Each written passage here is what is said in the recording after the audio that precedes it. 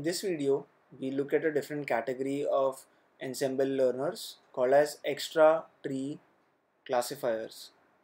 Extra tree classifiers seem much more faster when compared to a random forest.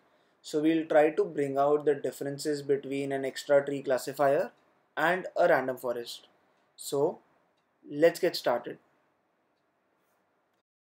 Before looking at what an extra tree classifier is, let's first look at how a random forest works. So let's consider a simple data set with m features and n rows. In a random forest, we grow multiple trees such that each tree comprises of the square root of the total number of features that are present. So in our case, we have m features.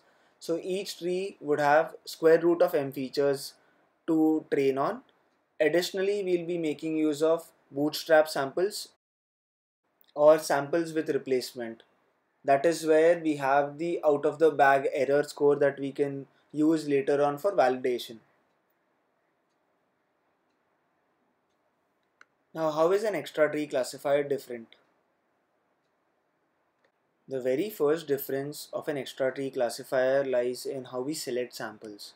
In extra tree classifier, we will be selecting samples for every decision tree without replacement. So all the samples would be unique in nature. The total number of features selected still remain the same. That is square root of the total number of features if you're using a classification task. So what exactly is the difference between an extra tree classifier and a random forest?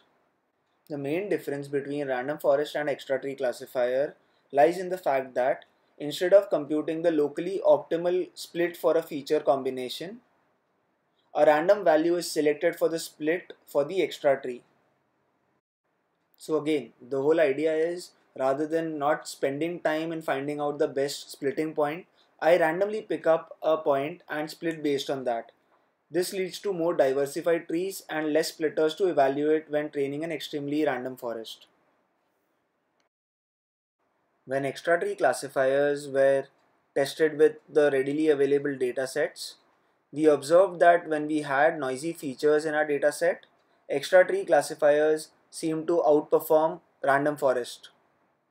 However, when all the features are relevant and when we train both extra tree classifier as well as a random forest, both methods seem to have achieved the same performance, be it in terms of accuracy, AUC ROC values, or the F1 score that we are chasing. This was my attempt at explaining how an extra tree classifier is different from a random forest. If you do have any questions with what we have covered in this video, then feel free to ask in the comment section below and I'll do my best to answer those. If you enjoy these tutorials and would like to support them, then the easiest way is to simply like the video and give it a thumbs up.